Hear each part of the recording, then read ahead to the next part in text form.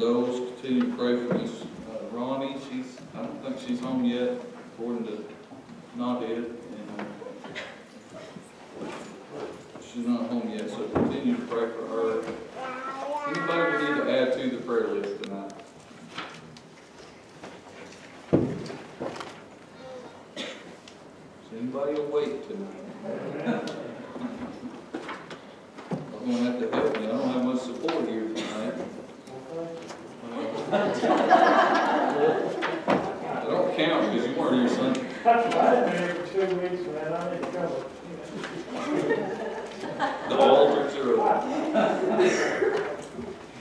Let's go to the Lord in prayer. Heavenly Father, we thank you for this day. Lord, we ask your blessing on these that are on our prayer list, The vast interest in our prayers. We just ask that you would heal their bodies and just tend to them, minister to them as only you can. Lord, we pray that you'd be with us tonight as we meet and look at a portion of your word, Lord, that you would uh, you'd show us what you'd have us to see and that your word might find a lodging place in our hearts tonight. In Jesus' name we pray. Amen. First John chapter number 5. First John in chapter number 5. Continuing with our study of the book of First John. First John in chapter number 5.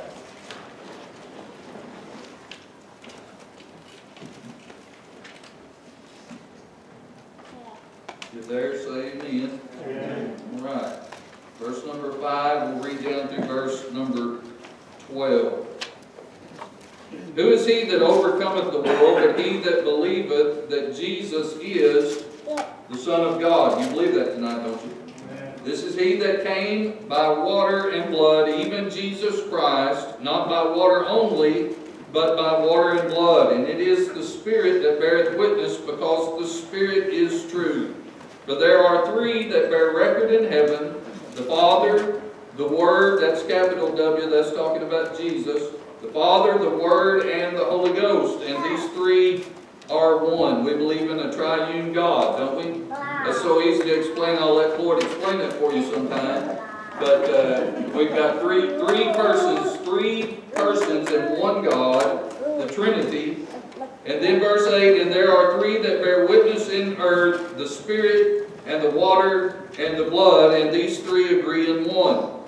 If we receive the witness of men, the witness of God is greater. For this is the witness of God, which he hath testified of his Son. He that believeth on the Son of God hath the witness in himself. He that believeth not God hath made him a liar, because he believeth not the record that God gave his Son. This is the record that God hath given to us, eternal life, and this is and this life is in his Son. He that hath the Son hath life, and he that hath not the Son of God hath not life. These verses that we've read, we're moving toward a the golden verse of 1 John chapter number 5, which is verse 13, of course, where it says, These things I have written unto you that believe on the name of the Son of God, that you may know that you have eternal life and that you may believe on the name of the Son of God. That's the, the uh, flagship verse, you might say, of 1 John chapter 5, really of the one of the one of the main verses of the whole letter of 1 John. These verses we've read are moving toward that. And our text is dealing with truth and the confirmation of truth. In these verses, the Apostle John, along with the Holy Spirit of God, along with other believers who are witnesses, they are all trying to tell us that they are witnesses, that they are bearing record uh, uh of some certain truth. Now, what is the point of truth that, we're, that, that they are trying to convince the reader of? The context of all of this is at the very end of verse number 5 that Jesus is the Son of God. That's what, he's, that, that's what we're trying to confirm. That's what they're witnessing of. And that provides our context for us. And there were many in John's day in John's lifetime when he wrote this that were denying the truth that Jesus was the Son of God. Predominantly was a group called the Gnostics. And, uh, and these had some strange, some strange beliefs. They denied the, the virgin birth of Christ. They denied the bodily resurrection of Jesus Christ. Uh, they, there was a group of the, of the Gnostics that came up with the doctrine howbeit it was a false doctrine, but they came up with the idea that, that Jesus was just a normal everyday man and that God or Christ, as they say, he kind of came up on, on Jesus, kind of came over him at his baptism whenever he was anointed, and then left him sometime before uh, he died on the cross. That's what they believed, and that's what John is trying to refute. And he does this throughout all of his writings. The, the main idea is, is that they were denying that Jesus Christ, the Son of God, came in the flesh and died in the flesh and rose from the grave. They denied that, and John refutes that in all of his writings. In the Gospel of John, he talks about how that he uh, the Word became flesh and dwelt among us. In the book of Second John, I think verse number 7, somewhere around in there, he talks about the Son of God in the flesh. And uh, this is what he was combating in his day. In our day, in these days, there, there are many in the religious world, I would say most in the realm of Christianity, they accept the truth that Jesus is the Son of God, but in our day they deny that He has the ability, He and Him alone has the ability to save. And, uh, and that's what we're dealing with in our day. And Paul warned about that in 2 Timothy chapter 3. He, he said, in these last days, that whole chapter talks about these last days, and he says they will have a form of godliness, but they deny the power thereof. And so we can glean from what John was dealing with in his time. Let's break these verses down, and I'll try not to be too long tonight. Verse number 6, look at it again. It says, This is he, talking about Jesus, this is he that came by water and blood, even Jesus Christ, not by water only, but by water and blood. And it is the Spirit that beareth witness, because the Spirit is true. When you read the commentaries about this verse, there's a there's a a, a, a whole a whole bunch of different views as to what it means that he came by the water and the blood. Most of the scholars will tell you that that's talking about Jesus' baptism and his crucifixion. That he came by water and the blood. Now, I'm not going to discount, totally discount that interpretation tonight, but I will tell you this, I'm not convinced that's what it's talking about. Not convinced at all that it's talking about his baptism. Contextually, we are looking at confirming the truth that Jesus is the Son of God.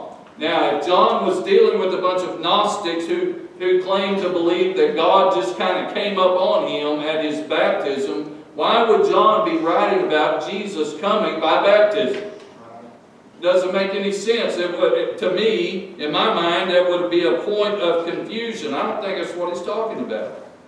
The Lord's baptism in water, in and of itself, offers no proof of the deity of Christ. It, it, it doesn't. Now, there's a, you have to realize when Jesus was baptized, there was a lot of people being baptized by John in the Jordan River.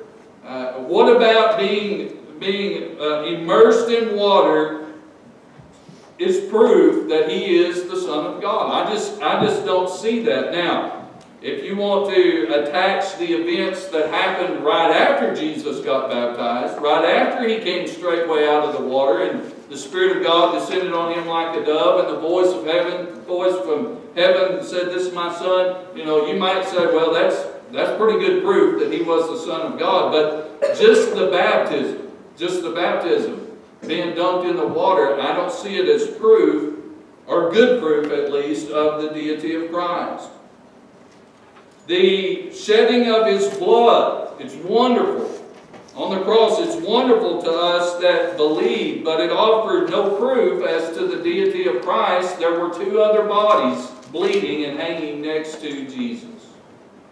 What made him any different? What can we use about that to substantiate that he was the or is the Son of God? I think there's something here. If we dig a little deeper, I think there's something here, and yet yet it's so simple in my mind. I believe that when it says that he came by the water and the blood, not the water only, but the water and the blood, I believe that this is talking about his physical makeup. This is talking about his physical being, his body, who he was rather than just what he did.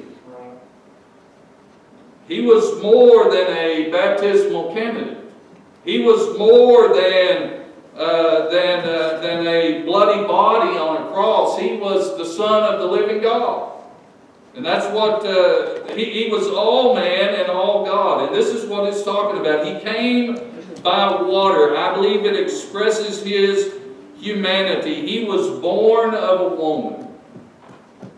And I, and I would say that that goes back to what we preached about and talked about in the past in the Gospel of John in chapter number 3. When Jesus is talking to Nicodemus, he said, except you be born again. He said in that text, he said, except a man be born of the water and of the Spirit. I believe that's talking about the natural birth and the spiritual birth.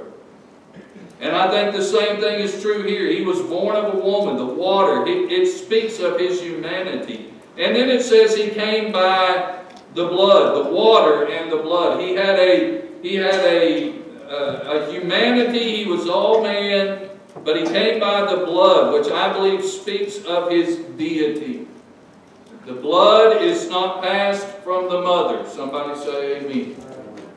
Uh, the mother uh, the, the fetus lives in there and feeds off of the nutrients from the mother's body, but the blood does not pass from the mother to the baby.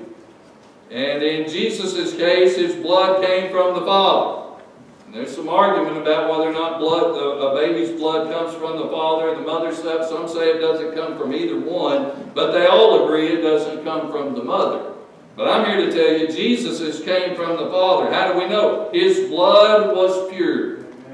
1 Peter chapter 1, verses 18 and 19, We are not redeemed with such corruptible things as silver and gold, but by the precious blood of Jesus Christ, without blemish and without spot. It was pure blood, sinless blood. And I think that's what it's talking about. Who is this Jesus He's the one that is born of a virgin. He's the one that was tempted in all points like as we are, yet without sin.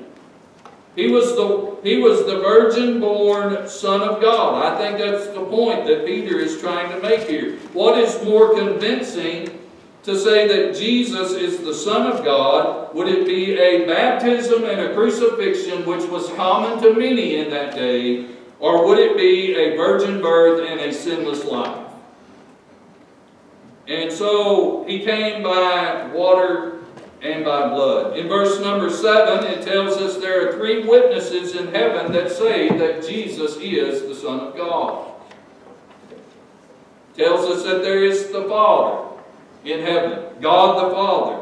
John 3.16, I, I, I would remind you of that right now. For God so loved the world that he sent his only begotten Son, that whosoever believeth in him should not perish but have everlasting life. The Father bears witness. It says that there is the Word that bears witness, Jesus himself. We know him to be the Word, capital W. John chapter 1, we've already looked at it in the past. And it said, uh, it says, in the beginning was the Word, the Word was with God, and the Word was God. And we followed that trail all the way down until we saw where the Word is directly connected to Jesus Christ Himself.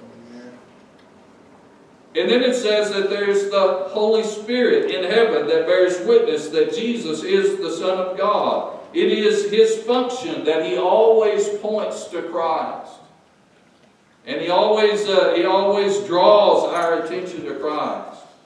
The Father in heaven gives witness that Jesus is the Son of God. He ought to know, wouldn't you think? I mean, he's the one that, that loved sinners and gave grace to sinners and sent his son to die for our sin. He ought to know. He's the one that sent him. And God the Son was in heaven and he gives witness that Jesus, that he is the Son of God. He ought to know. He ought to know. He came from the Father, he said, and he went back to the Father when he ascended. And, and He ever lives to intercede for us before the Father. Now, he ought to know. And the Holy Spirit is in heaven giving witness that Jesus is the Son of God, he ought to know he's the one that overshadowed Mary, the Bible says. These three witnesses are in heaven. Verse number 8 tells us the, there are three witnesses on earth that say that Jesus is the Son of God, the Holy Spirit. He gives witness on earth. Think about this through the work of inspiration. He inspired the Bible. Men of old wrote, uh, wrote these things as they were moved upon by the Holy Ghost, the Bible says. We have a Bible that gives witness that Jesus is the Son of God. Where do we get all this stuff? From the Bible. He does the work of, uh, uh, of, of unction, talking about preaching, singing in the Holy Spirit, witnessing in the Holy Spirit, testifying in the Holy Spirit. The Holy Ghost is involved in all of that, and all of that if done with, with, a, with a true heart and a true spirit gives witness that Jesus is the Son of God. He does the work of conviction. John has already told us in his gospel that, uh, that when Jesus left, he said, I'll send the, the, my Father will send the Comforter, the Holy Spirit, and he will reprove the world of, of sin and righteousness and judgment. He does the work of conviction. And he does that here on this earth. Now, the work of conviction of the Holy Ghost, let me just throw this in as a side note. The conviction of the Holy Spirit, that is not the same thing as regeneration. Just because the Holy Spirit convicts your heart doesn't mean you've been regenerated. That's Calvinistic. They say he has to awaken you, that he has to quicken you. That's the old King James word. That he has to make you alive before you can be saved. I'm telling you, you can't be quickened until you're saved. You can't be regenerated until the point of salvation. That's getting the cart before the horse. Conviction is not the same thing as regeneration, and conviction is not irresistible grace. Just because the Holy Spirit convicts you and convicts your heart, how long did you go under conviction before you got saved? You can resist the Holy Ghost if you choose to. No such thing as irre irresistible grace. And the Holy Spirit bears witness on earth. The water, it says in verse number 8, bears witness on earth. The virgin birth sets Christ apart from all other men, all other people on this earth. There never was before Christ anyone born of a virgin, and there never has been since, and there never will be. He is one of a kind. I thought of a sermon I heard, the old preacher the other day, I was listening to him, and the title of his sermon where that was, he said, There ain't nobody like you. And he preached out of Isaiah where it says, uh, 45, I think, where it says over and over again that I'm the Lord thy God. There is none else. There is none else. Well, where did Isaiah get that kind of idea? What, what would he possibly be tying that to in Isaiah 45? What about Isaiah 7:14, where it said, Unto you is born of a virgin, there shall be a virgin that will be with child, and you shall call his name Emmanuel. Jesus is set apart. The, the virgin birth, you understand how important the virgin birth is to what we believe? Then it says that in the earth the blood is another witness. The sinless, the sinless, perfect righteousness of Christ. It's been a long time ago since he walked this earth. But we can account for a life, in him we can account for a life lived that was totally without fault or failure. We have the history book that we can go back to. And we can look at the accounts of those that gave witness. All that the disciples could say about him was, is what manner of man is this? He's different than anybody we've ever known. All that Mary, his mother, could say at that wedding at Cana was, whatever he tells you to do, do it. Whatever he tells you. All that Pilate could say about Jesus was, I find no fault in him.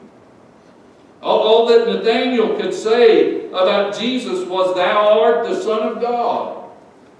All that the woman at the well could say is, Is this not the Christ? We have the witness of the Holy Spirit and the blood and the, and the water in the earth. Verse number 9, we see a good witness and a better witness. It says, if we receive the witness of men, the witness of God is greater. We have the witness of men, and the witness of men concerning Jesus Christ is a wonderful thing. Listen to me now, when they tell it to you right.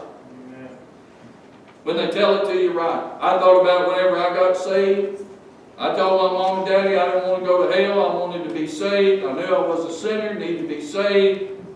And they told me how to be saved. Now, I'm going to tell you something. If mom had been a Jehovah's Witness, uh, then I'd be peddling the watchtower right now because I'm just going to do whatever she told me I needed to do. If mom had been a Mormon, I'd be wearing a white shirt peddling a bicycle ring. Because that's that I would have done whatever she told me to do. I'm glad she told me right. I'm glad that they told me right. Sometimes what people claim to know is false. But we have a better witness. It says if we receive the witness of men, the witness of God is greater. You'll notice in verse number 7 it gives uh, it, it, gives those that bear record in heaven, and in verse number 8 it gives three that bear witness in earth. And it's interesting to me that there is one in those two lists that are common to both worlds, and that is the Holy Spirit of God. He's bearing witness in heaven and he's bearing witness in the earth at the same time. Thank God for the Holy Ghost that brought me under conviction, and you too if you're saved. And, uh, and his witness is greater. Verse number 10 the, tells us that the believer has this witness in himself. In himself. Verse 11, that Look at it again. It says, And this is the record that God hath given us eternal life, and this life is in His Son. The Holy Spirit for the believer becomes an inner witness of our salvation. It goes right along with what it says in Romans chapter uh, number 8 and verse 16, where it says that His witness bears with, uh, His Spirit bears witness with our spirit that we are the sons of God. He's in us. Verse number 10, the unbeliever has rejected the record or the witness of the Holy Spirit. Look at verse number 10. It says, He that believeth on the Son of God hath this witness in himself. He that believeth not God hath made him a liar, because he believed not the record that God gave of his Son. The unbeliever has rejected the witness of the Holy Spirit. Did you know that that is the only unforgivable sin that's listed in the Bible? The sin, the unforgivable sins. What is it? It's the blasphemy of, of the Holy Ghost. What in the world is that? That's whenever the Holy Ghost convicts you of your sin, shows you that you're lost, and you say, I don't want it. I don't believe none of that, and I, I and I don't want it. That's rejection of the Holy Spirit. You've made God a liar to say that you're not a sinner. John's already addressed that in this chapter, in this book. Verse number 12 brings all of this to, I believe, a very clear conclusion. Simply put, he that hath the Son hath life, and he that hath not the Son of God hath not life. Now, I mean, there may have been some other stuff up in there that's confusing, but that's not confusing. That's just about as clear as it gets. If you have trusted Christ, you have eternal life. By the way, I would, I would have you to note that that is the way that this is put to us, that is a present possession. He that hath the Son hath eternal life. That right there refutes all of the work salvation crowd that refutes what the Church of Christ claim to believe, what the Methodists claim to believe, even what the hyper-Calvinists claim to believe, and that is they say, well, we'll have to wait and see how it turns out. We'll have to wait and see if we endure to the end in the faith. We'll have to wait and see if, uh, if we've been good enough to get into heaven. I'm glad I'm saved right now. Amen. I'm glad I'm saved right now. I can't, I can't go to hell. It's not possible. That's a present possession. If you haven't trusted Christ, the Bible says you're dead in trespasses and sin. He that hath not the Son hath not life. You don't have life. You're living in darkness. You may be walking around, but without Christ, in the words of John Wayne, you're dead as a beaver hat. Dead in trespasses and sin. Listen now, if you die like that, if you die in your sin, you will not enter into life. You will enter into eternal death, what the Bible calls the second death. The second death, an eternal is existence in hell. That's just as simple as it gets. He that hath the Son hath life. He that hath not the Son hath not life. All of this, as I said a while ago, is leading up to verse number 13. These things I have written unto you that believe on the name of the Son of God, that you may know that you have eternal life. You can know you are saved. You can know you are saved. How do you know, preacher? Have you trusted Christ to save you from your sins? That's as clear as, as, as I can make it. By the way, that's as clear as John puts it right here. Let's stand. Heavenly Father, we thank you again for allowing us to be in your house tonight, Lord. We thank you for your word. We thank you that we've got more than enough evidence in heaven and in earth to know and to believe and to put our trust in the fact that Jesus is the Son of God, and in Him is our only hope of salvation. Lord, we thank you for your, your uh, church. We thank you for this place and what you've done here this past year, what you Lord, thank you in advance for what you're going to do in the year to come. And Lord, just bring us safely again into your house when, uh, when the time comes. In Jesus' name we pray. Amen. Amen.